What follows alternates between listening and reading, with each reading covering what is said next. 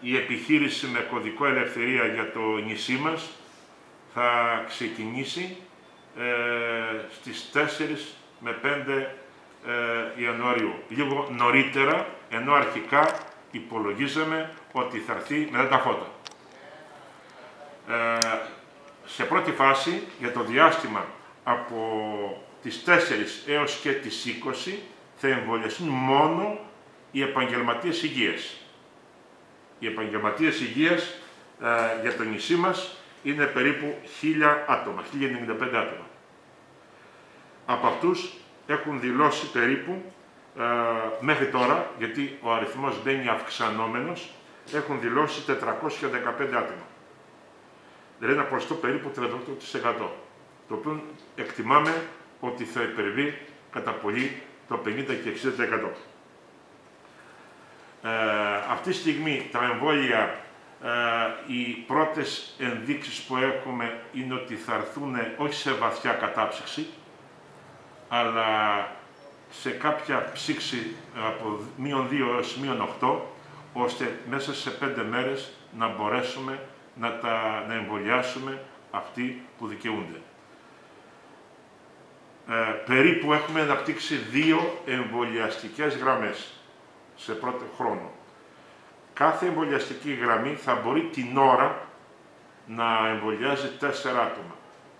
Συνολικά δηλαδή 8 άτομα. Στο 8ωρο περίπου, περίπου εκτιμάμε ότι την ημέρα θα εμβολιάσουμε 50 άτομα. Εάν ο αριθμός αυξηθεί, θα αυξήσουμε και τις εμβολιαστικές γραμμές, ώστε μέσα στο διάστημα των, της, μέχρι τις 20 Ιανουαρίου να μπορέσουμε οι επιθυμούντες επαγγελματίες υγείας να εμβολιαστούν. Μετά τις 20 θα ανοίξουν τα εμβολιαστικά κέντρα των κέντρων υγείας και για να ξεκινήσει ο εμβολιασμός του πληθυσμού. Τα κριτήρια για τον πληθυσμό είναι γνωστά. Πρώτα είναι η μεγάλη ηλικία και οι ευάλωτες ομάδες. Επιπλέον, ε, εκείνοι που θα εμβολιαστούν είναι τα γυροκομεία και γενικώς όπου υπάρχουν δομές που χρήζουν προσοχή προκειμένου να διασφαλίσουμε την επιβίωσή τους. Αυτή είναι σε γενικές γραμμές το σχέδιο ελευθερία που θα ξεκινήσει για μας περίπου 4 Ιανουαρίου που θα γίνει η άφηξη, η αναμενόμενη άφηξη των εμβολίων.